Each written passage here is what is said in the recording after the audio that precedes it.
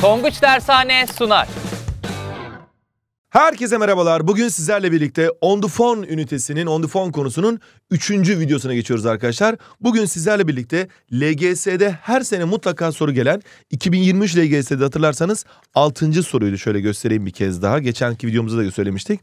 Which two people finished their phone conversation demişlerdi. Ve bitiren arkadaşlarımız burada Joe ve Max'ti. Thanks, see you later. Okay, talk to you soon. Take care gibi ifadelerle bitirdiklerini anlamıştık. Şimdi o zaman hazırsak güzel bir şekilde bu on the phone konusunu iyice bitirelim. Are you ready Tonguç? I am ready. Harikasın o zaman telefonlarımızı alıyoruz. Çin malı sahte telefonlarımızı. Ve güzel bir şekilde bugün sizlerle birlikte telefonun pros and cons. Pro ve con ne demek biliyor musun Tonguç evladım benim? Bilemedim hocam. Hemen söyleyeyim. Pros, advantage yani avantajları, artıları demek tamam mı? Hani pro, pro, vay profesyonel derler onun gibi düşün. Cons da eksileri olacak Tonguç evladım benim. Aynı zamanda offers and requests yani öneriler ve tekliflere bakacağız, isteklere bakacağız. Hadi bakalım dersimiz güzel bir şekilde başlasın. Ardından da konumuzu güzel bir şekilde öğrenelim. Tonguç Kap'a nasıl katılırım? 5, 6, 7 ve 8. sınıflara özel düzenlenen Tonguç Kap'a katılmak için öncelikle tonguçakademi.com'a üyeliğimizle giriş yapıyoruz ve sağ üstte bulunan Tonguç Kap sekmesine tıklıyoruz. Sayfanın biraz aşağısına indiğimizde takımını belirli butonunu göreceğiz. Tıkladığımızda sınıfımızın doğru olup olmadığı teyit ediliyor. Doğru değilse sağdaki sekmeden hızlıca güncelleyebilirsiniz. Sınıfım doğru, takıma ata butonuna tıkladığımızda ise gördüğünüz gibi Tonguç Kap'taki takımımızı kolayca belirleyerek bu heyecanlı yarışmaya dahil oluyoruz. Hızlı çıtalar ya da bilge baykuşlardan birine dahil olduktan sonra izlememiz gereken yol aynı sayfa içerisinde yer alıyor. Eğer hala katılmadıysan tonguçakademi.com'da seni de Tonguç Kap'a bekliyoruz. Şimdi Tonguç'um ilk başta şunu bilmemiz lazım ki cep telefonu hatta şöyle telefonda koyalım ki havalı olsun böyle gerçekten. Parayı kıydık gerçekten çok güzel telefonlar. İçerideki arkadaşların hepsinin telefonlarını getirdim. Neyse şimdi öncelikle şunu bilmemiz lazım ki telefonun cep telefonunun gerçekten avantajları çok fazla elimizden bırakamıyoruz.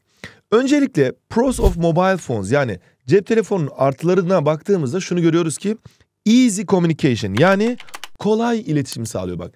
Easy kolay demek, communication da iletişim demek. Easy communication. Easy to carry. Taşıması kolay bak hemen hop rahatlıkla elinde taşıyabiliyorsun. Accessibility to the internet yani internete bağlanma imkanı var öyle değil mi? Tabii eskiden e, bizim zamanımızda akıllı telefonlar yoktu. İnternete bağlanmak için mutlaka bir bilgisayara, bir dizüstü bilgisayara ihtiyacın oluyordu. Ama şimdi artık hatta onlara bile gerek kalmadı. Böyle telefonlardan her şeye girebiliyorsun. Rescue for emergency. Ha bak gerçekten dağ başına yalnız başına kaldığında veyahut da çok tehlikeli bir durumda seni kurtarabiliyor bu cep telefonları. Dolayısıyla Rescue for Emergency zor durumlarda bizim için bir kurtarıcı olduğunu da söyleyebiliriz. Bunlar artıları. Tamam bunları biliyoruz. Şimdi burada şunu söylememiz lazım ki esasında bu artıları biz eksiye çevirdik zamanla. Niye? Biz kolay iletişim için kullanacağımız telefonu, rahatlıkla taşı- taşıyabileceğimiz telefonu artık 24 saat elimizden düşürmez hale geldik. Şimdi bu yüzden de bazı zararları olmaya başladı. Bakalım bunlar neymiş? Şimdi cons of mobile e, phones yani pros and cons. Bu sefer artık olumsuzluklarına bakıyoruz.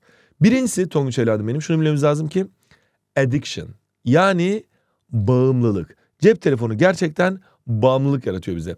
Şöyle söyleyebilirim sana. Mesela ben bazı insanlar biliyorum Tonguç'um. Günde 10 saat ekran saati e, ekrana bakıyor. Yani hatta telefonlarda ekran kaç dakika baktığını da söylüyorlar. Mesela sen telefonla ne yapıyorsun Tonguç evladım? Ben eve gelince hemen oyun oynuyorum Bak hocam. işte bak hemen eve gidince oyun oynarım diyorsun. Hayır evladım telefonla şu anda bilhassa LGS senende sadece ve sadece TATS uygulamasından faydalanman lazım. Oradaki soru çözümlerine bakman lazım. E, tabii ki YouTube'a bazen de arkadaşlarınla buluşmak için Instagram'a WhatsApp'a girebilirsin ama daha çok senin en çok kullandığın uygulama böyle dersle alakalı olması lazım. Neyse. Addiction bağımlılık dedik. Hearing and vision problems. Ha, işitme ve görme problemleri ortaya çıkarıyor. Security issues yani güvenlik konuları. Gerçekten günümüzde yani bu telefonla alakalı bir şey değil ama daha çok hani sosyal medya üzerinden gerçek bilgilerimizi paylaşmayalım arkadaşlar. Yani nickname kullanın, kendi resimlerinizi koymayın ama dayanamıyor insan. Instagram'a da koyuyor her şeyini. İşte ne bileyim Snapchat'e de koyuyor, WhatsApp'a da koyuyor, duruma da koyuyor, her yere koyuyor. Bu da tabii ki bilgilerin hızlı bir şekilde paylaşılmasına sebebiyet veriyor. Çok tehlikeli. Dolayısıyla buna dikkat edeceğiz. Onun harici bir de cep telefonu alıp çalıyorlar. Ona dikkat edin. Mesela geçen benim arkadaşım oldu bu Tonguç'um. Ee, alışveriş merkezinde bir e, markadan yemek alacak. Kuyrukta bekliyor yani önünde kuyruk var. Öyle beklerken işte duruyor böyle beklerken bir bakıyor ki telefonu yok. Ah biri o sırada gelip almış kameralardan bakıyorlar. Adam böyle geliyor hop cebinden çekip alıp götürüyor. Çünkü telefonlar artık pahalı yani şu e, şu telefonlar artık çok değerli olmaya başladı. O yüzden hırsızlar telefonlara dadanıyor. Bu da önemli dikkat edeceğiz arkadaşlar. Hatta pahalı telefon kullanmamak lazım. Accidents kazalar olabiliyor. Arabada telefon kullandığı için trafik kazaları olabiliyor. Bad at school okulda kötü olabiliyoruz. Derslerimizden geri kalıyoruz. Hard concentration yani konsantrasyonda odaklanmada zorluk yaşıyoruz. Ve tabii ki de en önemlilerinden bir tanesi expensive bir sürü paramız gidiyor. Şimdi stating personal opinions. Burada bu konuyla alakalı kişisel fikirlerimi söylerken I think ya da in my opinion gibi ifadeler kullanacağız. I think smartphones are harmful because I get distracted easily. Ne dedi şimdi Tonguç'um? Bence dedi I think akıllı telefonlar, smartphones are harmful. Zararlı. Because çünkü ben I get distracted easily. Benim dikkatim dağılıyor dedi. Get distracted, dikkati dağılmak. Ee, çok kolay bir şekilde dikkatim dağılıyor dedi. Şimdi burada hatta bunu yazalım şöyle iyice aklımıza yerleşsin. Dikkati dağılmak diye şöyle buraya yazıyorum. Get distracted. Tamam bunu buraya yazdık şöyle get distracted'ı şöyle altını çizdik. Buraya bakalım. Tonguç ne demiş? Sen ne demişsin Tonguç'um? In my opinion benim fikrimce smartphones are useful. Akıllı telefonlar kullanışlı diyor. Çünkü I can play online games. Ben online oyunlar oynayabilirim diyor. Sen akıllı telefon deyince aklına ne geliyor Tonguç benim? iPhone, Samsung. Ya gerçekten hemen marka isim veriyorsun. Allah'ım ya ben hangi markalar geliyor demek istemiyorum. Yani akıllı telefon deyince aklına oyun mu geliyor? Play online games mi? Veyahut da işte eee, ders çalışmak tabii onu biliyorum. Neyse. Sonuç olarak burada arkadaşın dedi ki akıllı telefonlar zararlı çünkü dikkatimi dağıtıyor.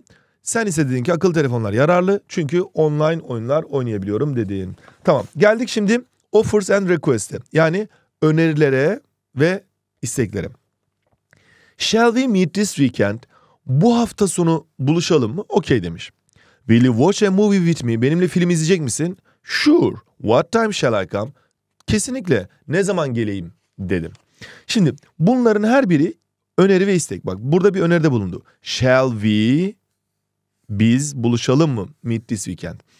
Ee, burada ise will you watch a movie with me? Benimle film izler misin dedi. Olumlu cevaplar verdik. Biri okey dedi. Tamam ne var ki yani geliriz. Diğeri de eee sure kesinlikle what time shall I come? Ne zaman geleyim dedi. Şimdi gel burada bir telefon görüşmesinin sıraya dizilimi var. Zaten sınavda da LGS'de hatırlarsan buna benzer çıkmıştı onun için başlayalım. Inviting someone on the phone. Birini telefonda davet ediyoruz. Hatırlarsan invite davet etmekte. Hatta invitation kart vardı o da davetiye kartıydı. Şimdi put the sentences into correct order. Cümleleri doğru sıraya koyun diyor. Bakalım. That sounds perfect. I will definitely come. Bak bu kulağa hoş geliyor. Ben kesinlikle geleceğim diyor. Sence bu cümleyle başlar mı Tonguç evladım benim? Hayır hocam. Tabii ki bununla başlamaz yani bir şeyler söylemeden bunu niye söylesin? Yes I am.